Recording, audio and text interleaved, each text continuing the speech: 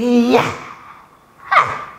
Anyway, apart from my majestic arm, I wanted to talk to you guys briefly about caffeine. What is it? Who is she? What is she doing in my mouth? Why is she keeping me up at night? Who the knows? Let's talk about it. The most popular drug in the world. Not my personally, not my favorite drug, but you know. Why is it the most popular? It's easily accessible. It tastes really good. It comes in a variety of textures and flavors.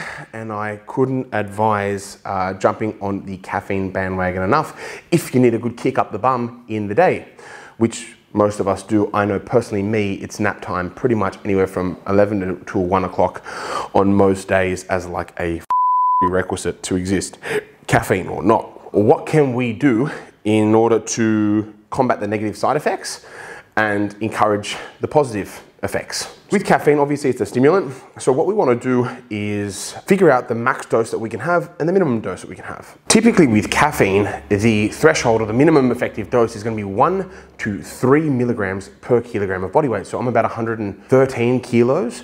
So I would need 400 milligrams of caffeine as an effective dose or somewhere in the realm of like 100 50, let's say, for my body weight and that sort of stuff. Now, for you, if you're a 70 kilo human, it would be 70 milligrams or 80 milligrams, whatever it is, but those are the numbers. The thing that you need to be concerned about is Caffeine can give you this overwhelmingly stimulated feeling sensation. And if you want to feel focused and you find that caffeine makes you distractible, what I would definitely advise is taking some L-theanine at about 200 milligrams alongside. Now you can get L-theanine, um, it's a naturally derived thing from, I believe, green tea. That's why green tea is sort of touted as a really effective stimulant because it keeps you focused and alert, um, but doesn't give you the sort of jitters that caffeine might do if you overdose or overuse it. So L-theanine is available in capsule form. It's like about 200 milligrams per capsule typically is the best dose to be having with your caffeine, and that's gonna keep you alert, focused, without any jitters. What I would recommend on top of that is limiting your caffeine to around 12 to 1 o'clock at the minimum or maximum. Let's say if you wake up, you have a coffee at 8, what I would recommend is probably having your last one at 12 if that's what you want, as ca caffeine has a 5 hour half-life. So let's say if we have 160 milligrams of caffeine in a large coffee uh, at 8, and then we have a large coffee at 12, that's 320 collective milligrams. Now, by 12 o'clock, that 160 milligrams will be 80. So then our cumulative total left over will somewhat be around the realm of 240 milligrams in our system at 12 o'clock. Now by 5 o'clock, that'll be 120 milligrams.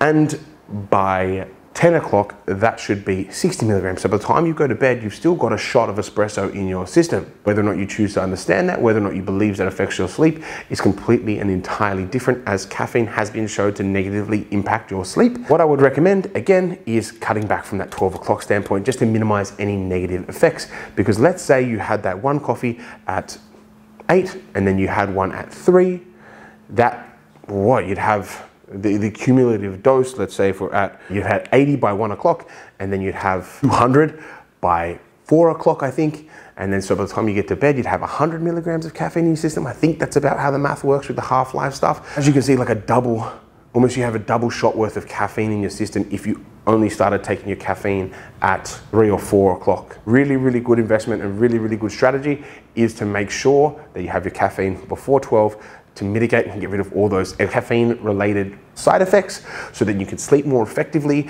and you can recover a lot better from your workouts and from your life and all that sort of jazz. Hope this video helps.